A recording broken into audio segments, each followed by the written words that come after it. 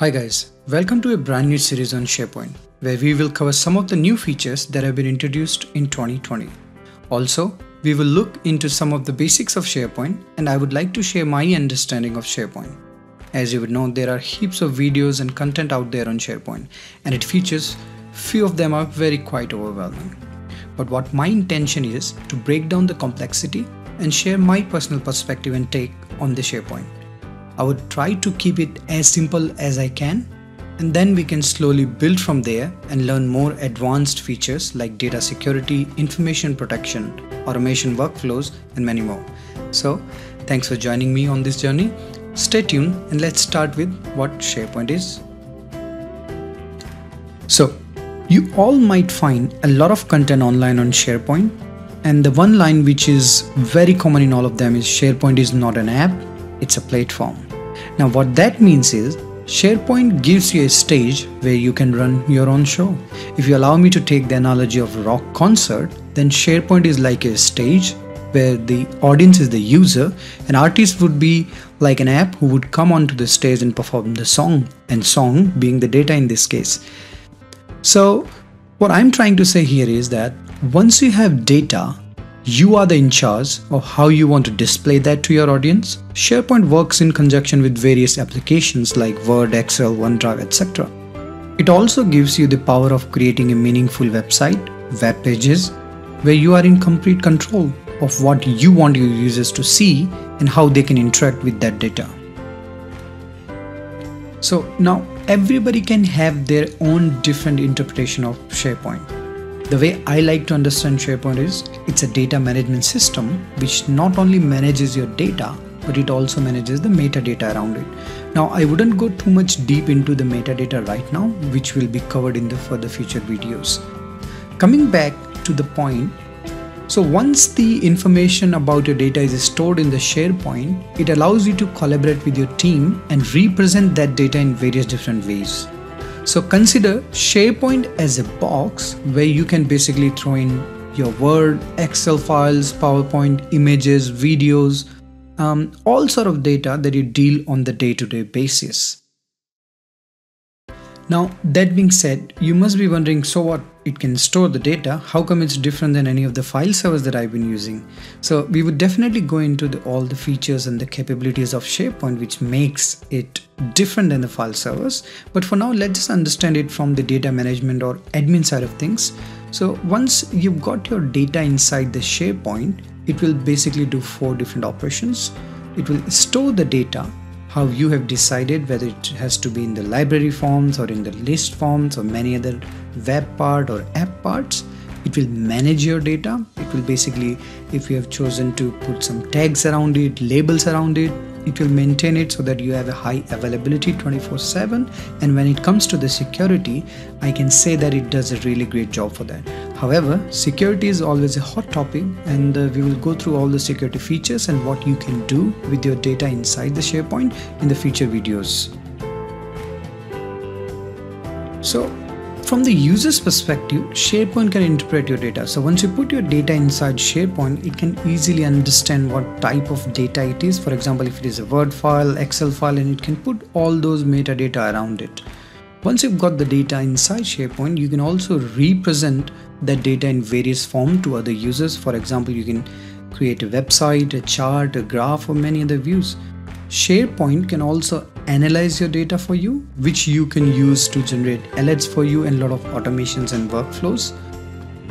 SharePoint will also give you certain reports which are by default, but you can of course customize a lot of reports if you want to take a deep dive into the management side of the data.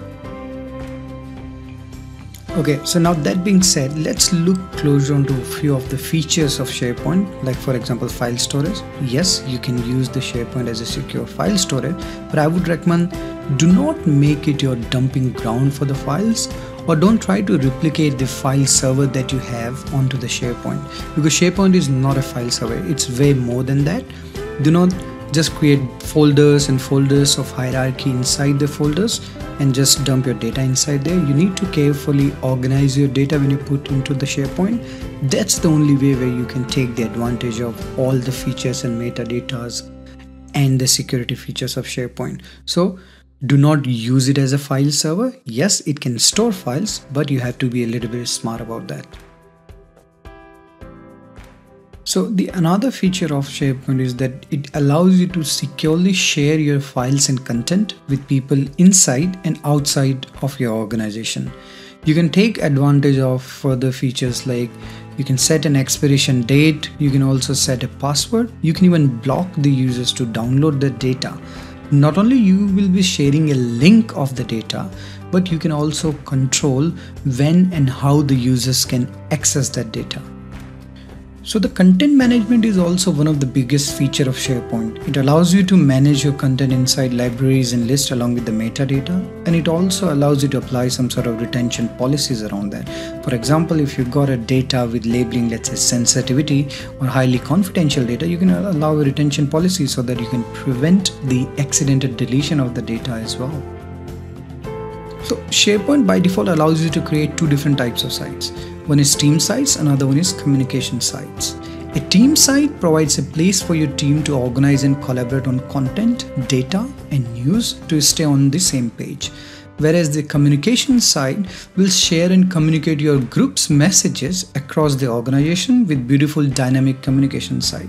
So you can choose either one of them depending on your need of the organization and how you want to share and represent your data across the team.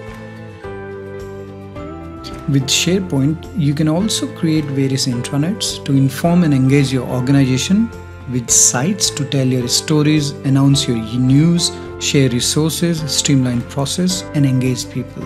And to access these intranets, team sites, and contents with the SharePoint, there are SharePoint mobile applications for Android, iOS, Windows, and there are OneDrive mobile applications for Android, iOS, and Windows. So you can take advantage of any of those apps to access your data. There are a lot of workflows in the SharePoint which you can use to automate your work. You can automate your business process with alerts and a lot of different workflows. SharePoint also allows you to discover the relevant people and the content as well whenever you need it the most and you can also customize your enterprise search and results with enhanced feature to surface resources across the entire office 365 you can put various filters as i explained earlier and you can also create various different views for you to access those data Within SharePoint, you can find the content in electronic format for litigation or audit scenarios. You can use advanced data loss prevention capabilities to identify, monitor, and protect your sensitive information.